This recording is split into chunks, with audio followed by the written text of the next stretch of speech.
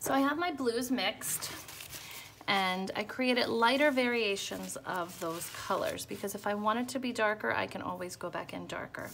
So I'm gonna actually, I'm gonna turn my paper. It's a little more comfortable for me to paint. And I'm going to work from one area and then work my way out. So I've made two different blues, so I'm gonna create this subtle kind of wet to wet shift uh, blend. And so I'm working from one area, that way I don't let it dry too much to get a ridge in between the two colors. And this is just a really soft blue value. Okay. Always err on the side of lighter rather than darker because you can always go back in and make it darker, but you cannot go back in and make it lighter. I'm just gonna keep moving out. You don't wanna let an edge sit too long or else it's gonna dry and it's sometimes it's hard to get rid of that sharp edge. So that's why you wanna always also keep mindful of the clock and not to start a large area if we don't have a lot of time in class to do so. Okay, so I'm just gonna show you clouds real quick. So with clouds, I'm gonna create a blotting effect.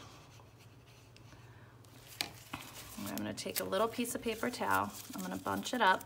I have to do this while it's still wet.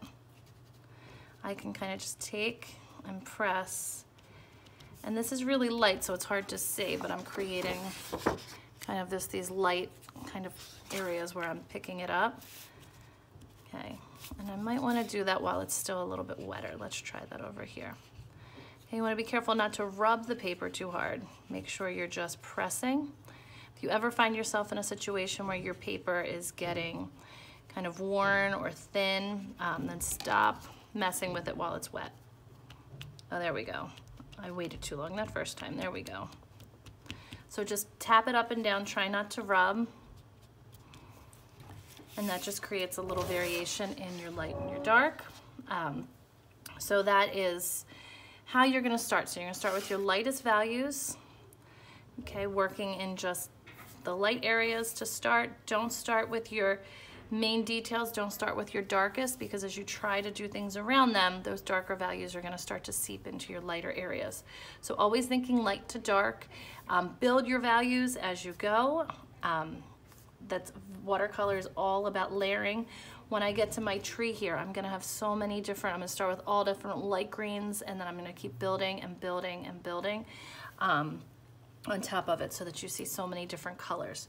So I'm not just gonna paint my tree one shade of green. I'm probably gonna, by the time it's finished, have about eight or 10 different shades.